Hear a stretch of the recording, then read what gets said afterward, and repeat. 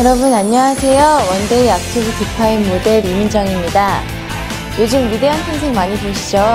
저도 두근두근 해가면서 보고 있는데 정말 재밌더라고요. 참, 제가 얼마 전 이거 관련해서 빅뉴스를 들었는데요.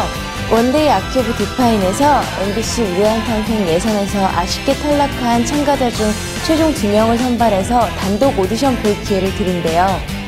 시청자분들의 투표를 통해서 선발된다고 하니까 유튜브 영상을 보고 마음에 드는 도전자를 콕 찍어주세요.